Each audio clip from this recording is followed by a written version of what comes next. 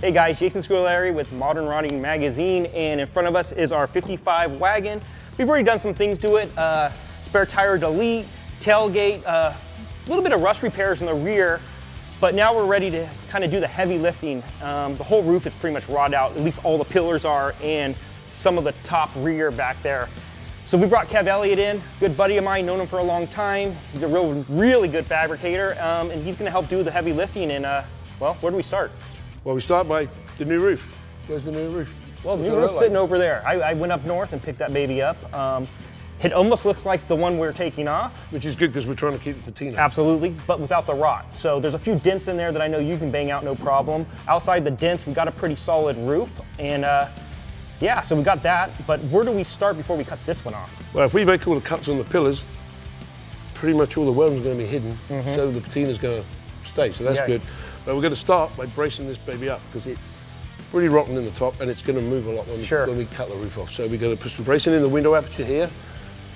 We're going to put some in the rear side windows and across the back and a couple of X's across the body so it can't bend this way or this way yeah. when we cut the roof off. So when you say something through here, you're going to weld it down here but not on here? We're going to weld bracing to the body but when it comes to the top it's just going to be sitting in this angle here yeah. so when we put the new roof on if it, when it, it once it sits in that angle, it lines up. Okay, got it. We got to make so the bracing can't move, so it's in the right place. Sure, sure. All right. Well, so that sounds sounds like today's a lot of just really bracing it up to get ready to cut the roof. A lot off. of bracing, but that's the most important part. All right. Well, I guess we start cutting and welding. Cut metal and welding. Yep.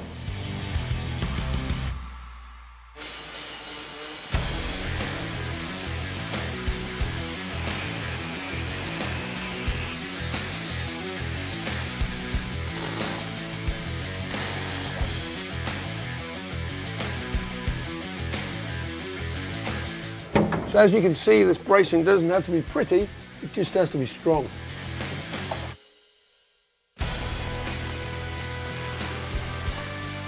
As Kev got closer to look at that B pillar, where we were gonna cut it off is all rotted out, so we're gonna have to cut it lower.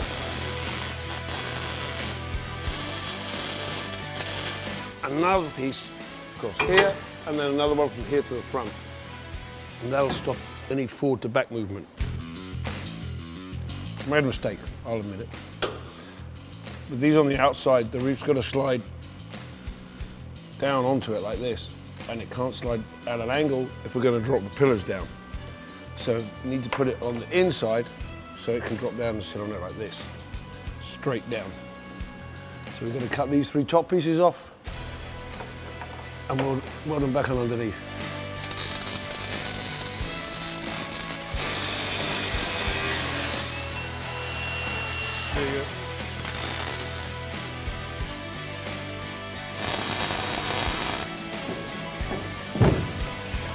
So that's our frame finished, and it looks a bit overkill, but it does two jobs. One, it's welded to every pillar, so the pillars won't move, and secondly, it's got these saddles, so the roof is sitting on there, sitting on here, so when we put the new roof on, we know we've got the exact right height, so we can get the pillars cut in the right place. So it's doing two jobs. So now the frame's done, we can start to cut the roof off. Um, I'm going to try and save as much of the inner structure as I can.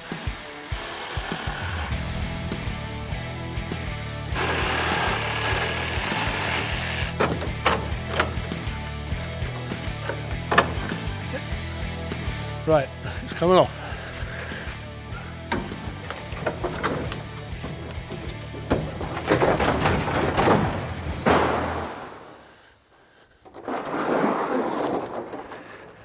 That's what happens when you used to work on your own.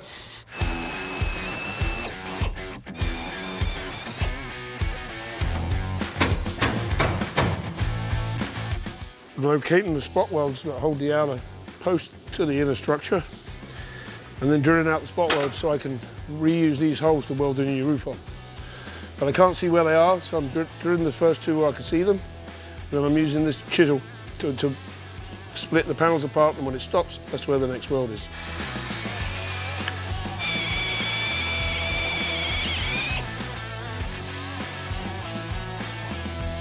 We're going to remove this, we've still got the rear section of the roof to drip rail on here. We'll take this off and then we're going to unpick the top of this pillar, same as we did with the B pillar. Um, there's a there's a nice joint under here with spot welds going upwards, so we could use the inner structure of this pillar and use the factory weld positions to hold that in place, but we're going to have to take the outer skin off so we can replace the strengthening inside the pillar. We can't just cut through the pillar and weld it on with a butt weld. There's no strength in that.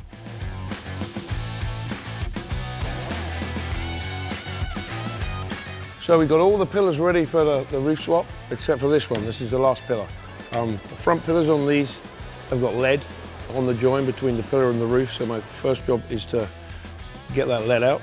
Um, I don't want to breathe it in by grinding it off, so I'm going to use a blowtorch and, and melt it out. Then we're going to pull the outside skin off, and then we're going to cut the top of the post off.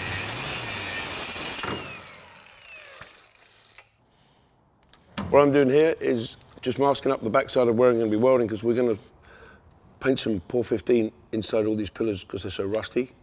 Um, and I don't want POR 15 where I'm going to be welding. I want a metal on metal contact.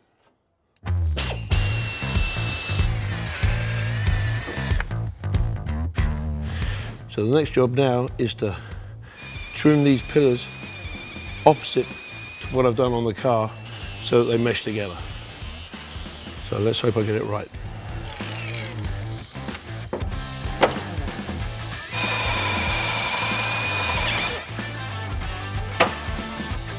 The one thing we haven't shown is how to, how to transfer the cuts from the car to the new roof. Um, and you can measure, but I like to make templates as well to be double sure.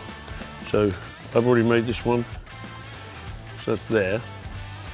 And if we transfer that to the other roof, so we bring it over to the, to the new roof.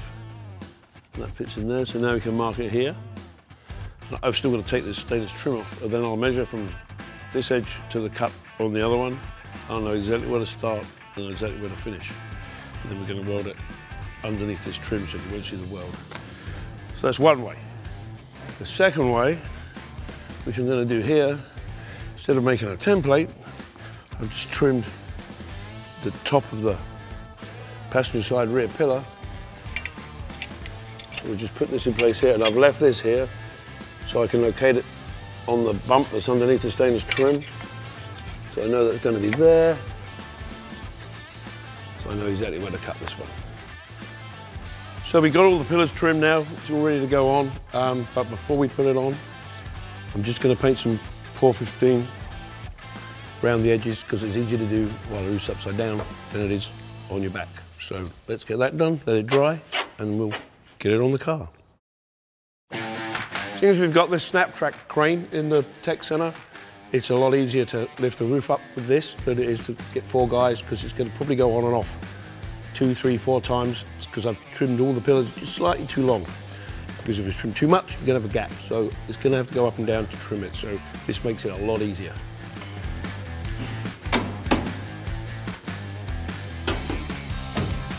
But I thought I was to have to take it on and off a couple of times.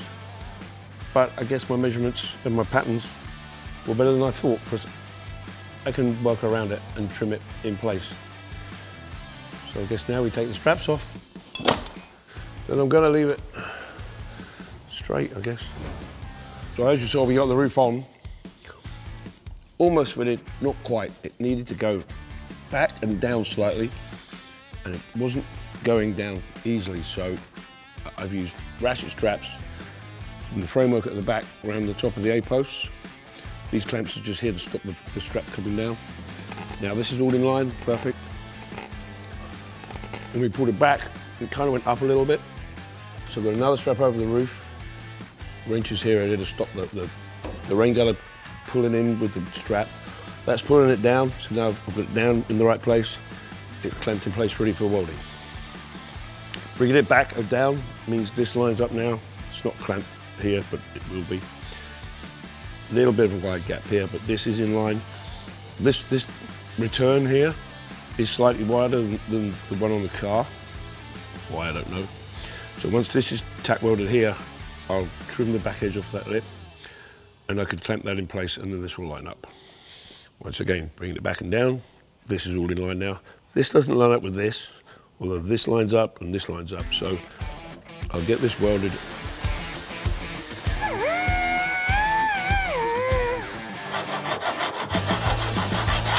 strapped it both sides, that side and this side, so the whole thing went back. And now this is all in line. I can weld this up, and then I can put the outer piece of the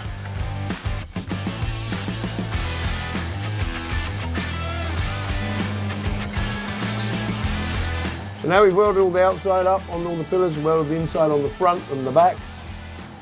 I'm just going to weld the inside of the B-post. We've already plug welded the outside and up, up in the top here. So three welds each side, and that's the end of it. So that wraps up the welding. The new roof's on there. It doesn't look much different than it did when we started, but it's a lot stronger than the old one. It was really rusty up inside and in the pillars, especially the rear. The front was bad. So it looks pretty much the same as it did, but it's a lot stronger. It was pretty easy to fit thanks to the structure, which may look like overkill, but when Jason cut this roof off another wagon in a junkyard, literally the B posts fell down and the doors fell off because the roof is a lot of the structure on the car. So it, it was bad. So this fixture helped us out a lot um, because we didn't have to do any measuring. Once we lowered it down onto the fixture it sits on these saddles here and the same in the rear side windows and the tailgate, that was it. It was in place, as you can tell by the door gaps. So that's about it. We just got to fix some dents in the roof and uh, cut out the fixture and this thing's ready to go. So we just finished the roof swap on the 55 wagon, um, and I just want to show you a few tools from Harbor Freight that came in useful.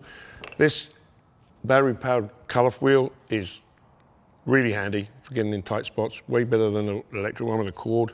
It's, uh, it's a pretty useful tool. The little Chief die grinder, you can put various, you can put a die grinding bit in it, or I used to use these drum sanders in there.